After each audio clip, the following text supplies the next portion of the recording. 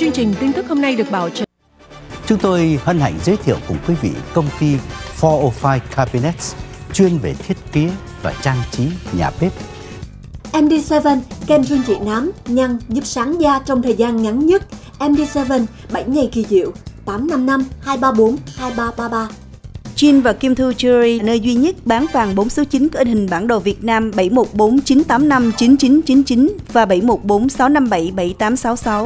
657 7866. Presso Tea now accepting franchise applications in California, Oregon, Arizona. Please call 714 881 9938.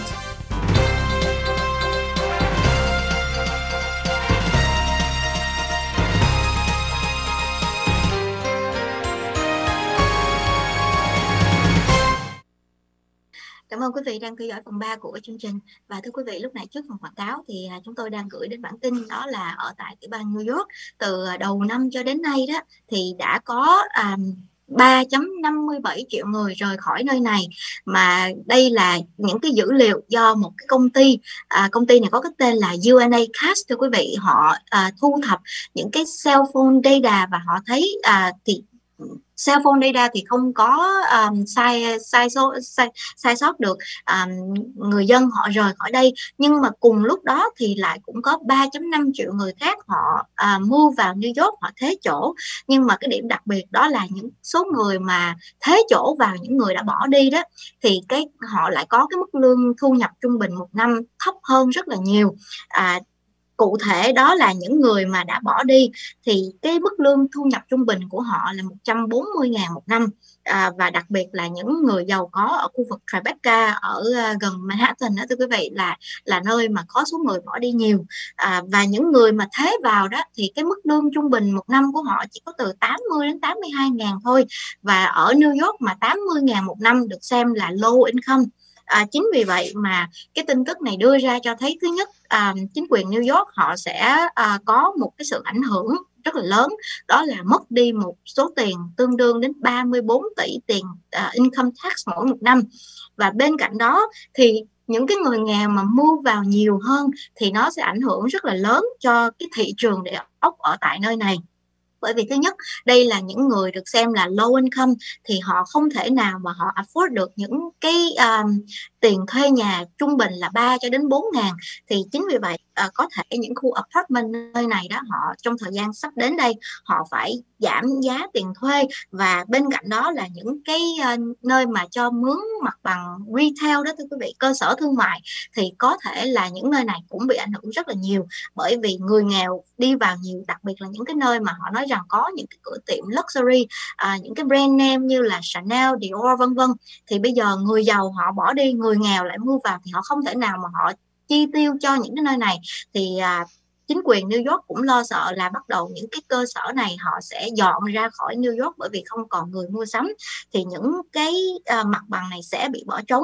Thì không biết là những cái người à, chủ đất ở nơi này họ có thể convert ra thành một cái gì đó khác hay không chứ không còn thể nào cho thuê theo cái dạng luxury được nữa đó là chuyện của New York. Riêng với California cũng đang bị ảnh hưởng trong một vài năm qua. Số người từ California do ảnh hưởng của tình trạng giá nhà và đời sống đắt đỏ họ đã rời khỏi California lên tới 650.000 người và con số này tiếp tục diễn ra. 650.000 người này đi đâu họ có thể đến Arizona, Nevada và phần lớn tập trung ở Texas thưa quý vị. Austin, Texas, Houston vân vân. Những nơi giá nhà rẻ mặc dù cái thuế đất nó cao nhưng mà so ra họ sang đây họ có thể mua một căn nhà 100 200 ngàn nó dễ dàng như thường. Dạ nhà mà tương tự như vậy, ở California phải 800 tới 1 triệu nhất là ở quận Cam hoặc là ở Los Angeles. Chưa kể là chi tiêu cho đời sống hàng ngày cũng cao. Đó là lý do số người California rời khỏi à, California để đến các tiểu bang khác. Tập trung là ở Texas và đặc biệt là ở Austin. Tin tức đó đi cùng với hai đại công ty của nước Mỹ, bao gồm Tesla, Elon Musk cũng tuyên bố là rời cư sang Texas rồi tin tức mới nhất ghi nhận được Oracle một đại công ty chuyên về vấn đề nhu liệu um, công nghệ cao cũng tuyên bố là rời khỏi California nhưng mà cái quan điểm rời khỏi California của riêng với ông Allison của công ty Oracle nó lại khác, nó mang tính chính trị nhiều hơn.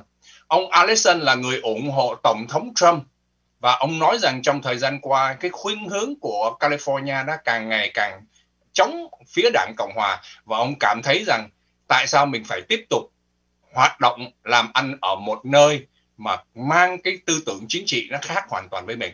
Cho nên ông tuyên bố là công ty Oracle cũng rời cư từ California để sang Texas và đặc biệt ở đến Austin. Austin hiện nay lại là một cái nơi mà đối với những công ty đó đất nó rộng lắm thưa quý vị. Và cái việc mà uh, chính quyền của Texas và kể cả chính quyền của thành phố Austin đó, đưa ra những cái sự hấp dẫn không đánh thuế và còn hỗ trợ về cái việc mà nếu mà họ rời cư sang đây nữa.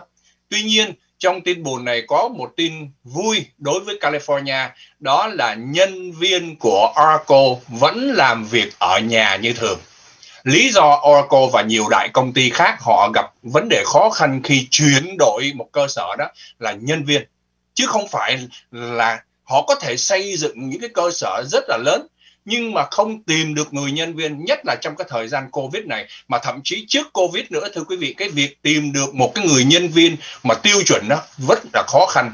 Thậm chí những nhân viên này họ vừa nghỉ một nơi là được những công ty khác thuê mướn liền cho nên ông Oracle, ông Allison ông biết được điều đó. Ông nói rằng tất cả các nhân viên, cả bao nhiêu ngàn nhân viên làm việc cho Oracle đó, quý vị cứ việc ở nhà làm việc, chỉ cần một laptop thôi. Đa phần là những người thảo trình viên, họ chỉ cần ngồi ở nhà làm việc, chứ không phải đến sở làm nữa. Và cái tiến trình này hiện nay trong thời gian qua, đó là lý do giải thích tại sao thời đại mà covid xảy ra đó, nhiều người ở nhà làm việc và họ sẽ tiếp tục làm việc. Đây là khuynh hướng trong tương lai cho dù trụ sở có đặt ở đâu đi chăng nữa, một người chỉ cần mở máy lên làm việc ở nhà. Và ngày nay, thưa quý vị, các nhu liệu để kiểm soát người làm việc ở nhà đó, họ biết rất rõ. Cứ 2 tiếng thì người đó được nghỉ 15 10 phút 4 tiếng thì được ăn trưa. Và những người này khi mà rời khỏi cái máy của mình đó, tất cả những cái hoạt động của họ đều được giám sát rất là kỹ lưỡng. Và thêm một bản tin nữa đáng chú ý ngày hôm nay, câu hỏi đặt ra cũng khá là thú vị nhiều à, phụ huynh hỏi như thế này nếu như thuốc chủng được chích rồi chích ngừa rồi và đặc biệt nếu ngoại ngoài những người y tá bác sĩ những nhân viên tuyến đầu rồi sau đó đến những người già trong các nhà dưỡng lão chích rồi đó thì cái thành phần thứ ba cần được chích đó là giới giáo viên. Thế thì câu hỏi đặt ra là nếu mà giáo viên chích ngừa đầy đủ rồi các em có được đi học lại hay không? À, đó là câu hỏi được đưa ra ngày hôm nay. Và câu trả lời trên tờ New York Times rất nhiều các nghiệp đoàn giáo chức của các tiểu bang đều muốn ủng hộ cái tiến trình để cho các em đi học trở lại.